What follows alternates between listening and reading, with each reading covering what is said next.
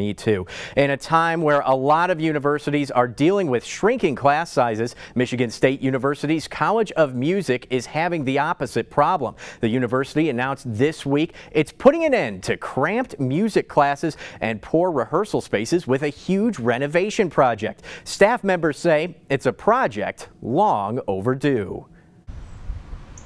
There's not a whole lot happening outside the music building at MSU, a quiet before the storm of machinery, if you oh, will. We'll come out from here.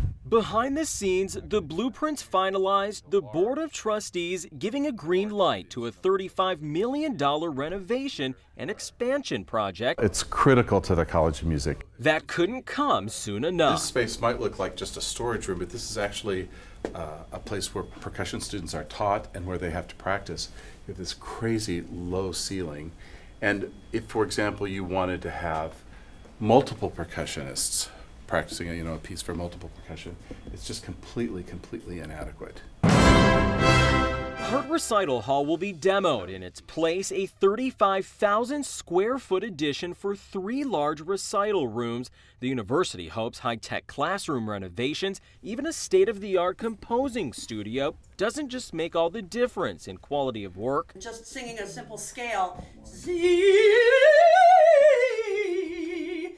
to make my ears ring. But also gives students a better sense of pride as well. It'll just be much more of a real rehearsal space as opposed to a classroom doubling as many, many things. And not to mention, step up the level of competitiveness for students to choose MSU as a launching point to a career